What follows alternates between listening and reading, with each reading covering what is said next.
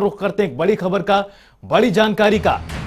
जम्मू कश्मीर से बड़ी खबर, जहाँ बांदीपोरा में आतंकियों ने ग्रेनेड हमला किया है। जम्मू कश्मीर से बड़ी जानकारी, सेना के काफिले को निशाना बनाकर धमाका किया गया है बांदीपोरा में। बता दें आपको, ब्लास्ट में पाँच लोगों के घायल होने की जानकारी है, जिसमें से दो लोग गंभीर रूप से घायल हैं। और धमकाके की वजह से गाड़ियों के शीशे भी टूट गए हैं। इलाके की घेराबंदी की गई है और सर्च ऑपरेशन सुरक्षा बलों की ओर से चलाया जा रहा है तो घाटी में जो माहौल है, उसे लगातार खराब करने की कोशिश आतंकियों की ओर से की जा रही है। और सेना के काफिले को निशाना बनाकर ये ग्रेनेड अटैक किया गया, जहाँ पर पाँच लोगों के घायल होने की जानकारी है। तो वहीं दो लोग गंभीर रूप से घायल हैं। बता दें आपको, इस ग्रेनेड अटैक की वजह से कई गाड़ियों के शीशे भी टूट गए हैं। वहीं सुरक्षा बलों की ओर से इलाके की घेराबंदी की गई है। सर्च ऑपरेशन चलाया जा रहा है। और अमित शर्मा, हमारे सहयोगी, इस खबर पर ज़्यादा अपडेट्स के साथ जुड़ गए हैं। अमित, क्या कुछ इस मामले में अब ताज़ा अपडेट्स हैं? उसकी बात की जाए, पाँच लोगों के घायल होने की जानकारी है और साथ ही साथ ये भी सामने आया है कि सेना के काफिले को दरअसल निशाना बनाकर यह हमला किया गया था। देखिए, पाकिस्तान की तरफ़ से हर समय एक मंशा बनी रहती है कि कश्मीर घाटी के अंदर किसी न किसी तरह का दहशत भरा माहौल जो है वो बरकरार रहे। तो उसी के चलते आज जो है बांदीपुरा इलाके में जो है एक ग्रेनेड हमला जो है वो सीआरपीएफ के काफिले पे वो उसको निशाना बना के किया जाना था। जो वो हमला जो है जब ग्रेनेड फेंका गया तो वो वहाँ पर जो गाड़ी खड़ी थी, वहाँ जाके वो गिरा। लेकिन काफिला यहाँ से यहाँ पर जिसको निशाना बनाने की कोशिश थी, वो बच गया। और ये जो है एक आतंकी संगठन है, उसने इस हमले की ज़िम्मेदारी भी ली है, ये बताया जा रहा है। लेकिन इस हमले में जो है, पाँच लोग जो है, वो एक महिला सहित पाँच लोग जो है, वो घायल हुए हैं। उनको उपचार के लिए वहाँ पे अस्पताल में भर्ती कराया गया था। उनका उपचार वहाँ पे किया जा रहा है और खतरे से वो बाहर बताए जा रहे हैं। उसके बाद वहाँ पर पूरे इलाके की घेराबंदी कर अमित खबर ये भी है कि जो पाँच लोग घायल हुए हैं उसमें दो की जो हालत है वो काफ़ी ज़्यादा गंभीर बताई जा रही है। क्या वो अब खतरे से बाहर हैं? देखिए पाँचों की हालत जो है अभी खतरे से बाहर बताई जा रही है। और पूरे इलाके की अभी घेराबंदी की गई है और वहाँ पे तलाशी अभियान जो है वो चल रहा है। जी। अमित बीते दिनों अमित शाह केंद्रीय गृह मंत्री जम्मू कश्मीर में थे घाटी में थे और लगातार उनकी तरफ़ से इस बात को लेकर ज़ोर दिया गया कि घाटी में विकास किया जा रहा है जिसकी वजह से ये घटनाएँ बढ़ रही हैं। लेकिन कहीं ना कहीं अमित शाह के एक बार जाने के बाद फिर से वही माहौल घाटी में देखने को मिल रहा है जहाँ पर धमाके की शुरुआत हुई है। देखिए देखिए बिल्कुल इसमें कोई दो राय नहीं है कि अमित शाह का जो दौरा था अमित शाह ने सबसे ज़्यादा ज़ोर जो है वो यही दिया कि यहाँ पे विकास हो रहा है यहाँ की स्थिति बदल रही है। जम्मू कश्मीर का नक्शा जो है वो वो बदल रहा है। अमित शाह का ये दौरा था अमित शाह ने कश्मीर के अंदर युवाओं के साथ भी मुलाकात की वहाँ पर लोगों से भी बातचीत की वहाँ पर कई दल से भी उनकी मुलाकात हुई। और जैसे ही अमित शाह जम्मू से निकल के वापिस दिल्ली की ओर रवाना हुए और लगा उसके बाद आज ही अमित शाह सुबह निकले तो उसके बाद लगातार आप देख सकते हैं कि किस तरह से यहाँ पर फिर से एक बार दहशत का माहौल जो है वो गिराने की कोशिश जो है वो की जा रही है। अभी बंदीपुरा में ग्रेनेड हमला हुआ उसमें पाँच लोग जो है वो घायल हुए। इसी तरह के अभी राजौरी और पुंछ की अगर बात करें तो वहाँ पर भी इनकाउंटर जो है लगभग आज सोलह दिन हो चुके हैं लगातार वहाँ पे इनकाउंटर चल रहा है। आतंकियों के साथ मुठभेड़ वहाँ पे हो रही है तो कहीं ना कहीं अमित अगर बात की जाए सर्च ऑपरेशन को लेकर तो क्या सुरक्षा बलों की ओर से कोई जानकारी दी गई है? कितने आतंकी हो सकते हैं? जिनकी तरफ़ से इस वारदात को अंजाम दिया गया है? और सर्च ऑपरेशन को लेकर क्या कुछ और अपडेट्स देखिए अभी तक इस तरह की कोई भी जानकारी जो है वो सामने नहीं आई है ना ही अभी कोई अधिकारी कोई बता रहा है। लेकिन इतना ज़रूर है कि बड़े पैमाने पे पूरे बांदीपुरा इलाके में एक बहुत बड़ा सर्च ऑपरेशन चलाया जा रहा है जिसमें ये देखा जा रहा है कि, कि जिन्होंने ये ग्रेनेड हमला किया है वो आखिरकार कौन है और वो कहाँ से आए और वो ग्रेनेड उन्हें कहाँ से मिला इस तरह की तमाम चीज़ें जो है वो वो पहलू जो है वो छानबीन वहाँ पे की जा रही है और सर्च ऑपरेशन जो है वो कंटिन्यू चलाया जा रहा है। जी शुक्रिया अमित। इस तमाम जानकारी के लिए लगातार आपसे अपडेट लेते रहेंगे आगे भी। और आगे बढ़ते हैं और रुख करते हैं एक और बड़ी जानकारी का बड़ी खबर का। बता दें आपको बड़ी और महत्वपूर्ण जानकारी जहाँ पर टीकरी बॉर्डर पर बंद रास्ते खुलवाने को लेकर यह महत्वपूर्ण बैठक बुलाई गई है और सरकार की हाई पावर कमेटी के साथ बैठक शुरू हो चुकी है।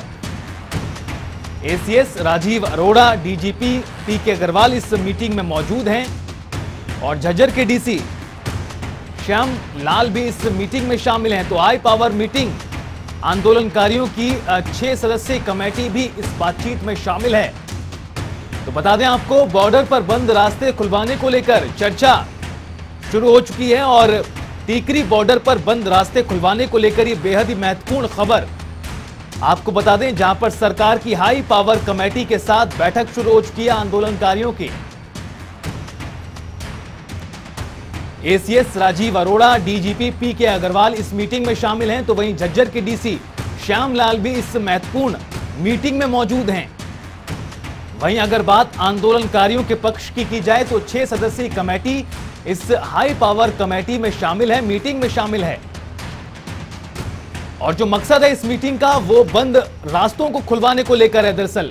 और प्रवीण धनखड़ हमारे सहयोगी खबर पर ज़्यादा अपडेट्स के साथ जुड़ गए हैं। प्रवीण, मीटिंग शुरू हो चुकी है सरकार की हाई पावर जो कमेटी है। छह सदस्यीय कमेटी आंदोलनकारियों की ओर से जो आए हैं सदस्य, कौन ऐसे नेता हैं जो इस मीटिंग में शामिल हैं आंदोलनकारियों की ओर से?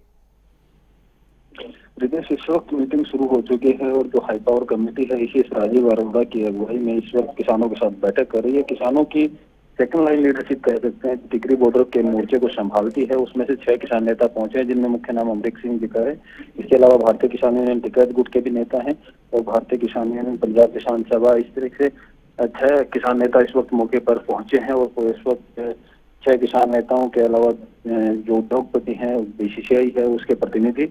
और आरडब्ल्यू के प्रतिनिधियों के साथ सरकार की जो हाई पावर कमेटी है उसकी बैठक शुरू हो चुकी है। पहले परिचय लिया गया और उसके बाद विधिवत मुद्दा जो है दिल्ली के बंद रास्तों को खुलवाने का क्योंकि मामला कोर्ट में भी चल रहा है।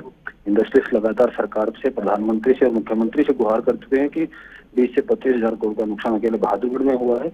इसलिए उसी विषय पर ये बातचीत शुरू हो रही है। तमाम किसान नेता जो। सिंधु बॉर्डर पर बैठे हैं इस बैठक से दूरी। भले ही अभी मीटिंग की शुरुआत हुई है और कहा नहीं जा सकता कब तक ये बातचीत चलेगी, लेकिन मीटिंग की शुरुआत से पहले अगर आपकी अधिकारियों से बात हुई हो या कुछ जानकारी दी गई हो तो अधिकारी किस तरह से इस मीटिंग को देख रहे हैं, रास्ते खुलवाने को लेकर क्या कुछ आसार नज़र आ रहे हैं इस चर्चा के?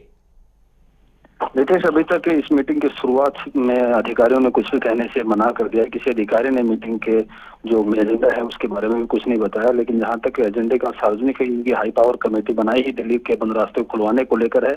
और जिस तरीके से किसानों की सेकंड लाइन लीडरशिप इस मीटिंग में हुई है सिंधु बॉर्डर पर जो पहले मीटिंग हुई थी उसमें कोई किसान संगठन या किसान नेता नहीं पहुँचा था।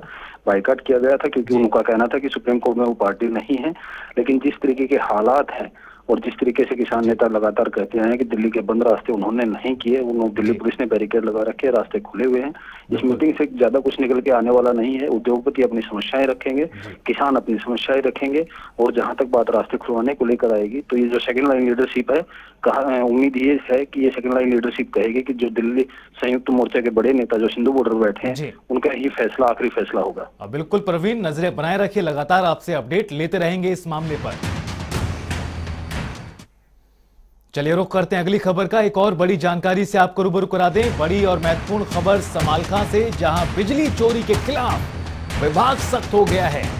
तो लगातार प्रदेश में अलग अलग जगहों पर छापेमारी की जा रही और बिजली विभाग की टीम ने कई जगहों पर समालखा में रेड की है। कई इलाकों में बिजली चोरी पकड़ी गई है, बड़ी खबर समालखा से। और बिजली कर्मियों के साथ पुलिस बल भी मौजूद रहा है। क्योंकि कई जगहों पर इस तरह की तस्वीरें सामने आई हैं कि अगर बिजली विभाग के अधिकारी छापेमारी करने जाते हैं तो लोग, स्थानीय लोग बिजली विभाग पर ही हमला कर देते हैं, बंधक बना लेते हैं। बता दें आपको, बीते दिन से प्रदेश में अलग अलग जगहों पर बिजली विभाग की ओर से यह कार्रवाई की जा रही है, जहाँ पर अलग अलग इलाकों में बिजली चोरी पकड़ी गई है और इसी कड़ी में समालखान से यह खबर सामने आई है कि बिजली चोरी के खिलाफ विभाग सख्त हो गया है और बिजली विभाग की टीम ने कई जगहों पर छापेमारी की है। और बड़ी खबर यह है कि इस छापेमारी के दौरान कई इलाकों में बिजली चोरी पकड़ी गई है। तो बता दें आपको, बिजली कर्मियों के साथ पुलिस बल भी मौजूद रहा ताकि कोई घटना ना हो।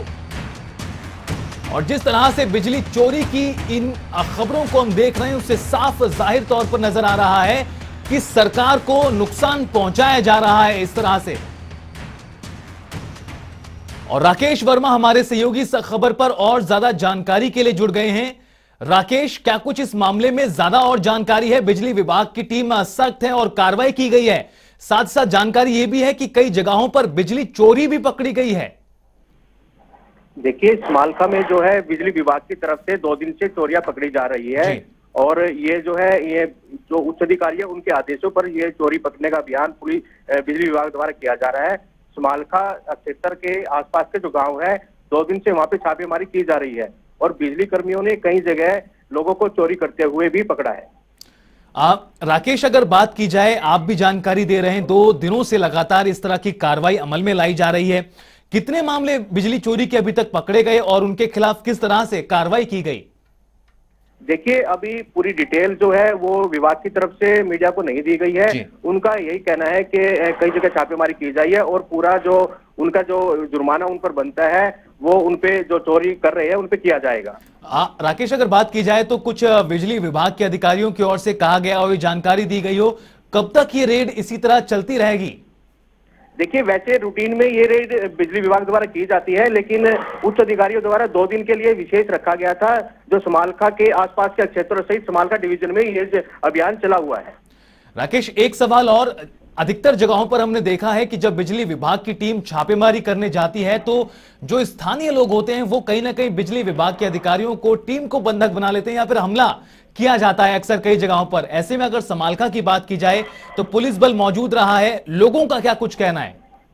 देखिए सुरक्षा की दृष्टि से बिजली विभाग के साथ पुलिस प्रशासन भी मौजूद है और पुलिस कर्मचारियों के होते कोई भी जो बिजली चोरी करने वाले हैं इस तरह की कोई हरकत सामने नहीं आ रही है। जी शुक्रिया राकेश इस तमाम जानकारी के लिए। लगातार आपसे अपडेट लेते रहेंगे। आगे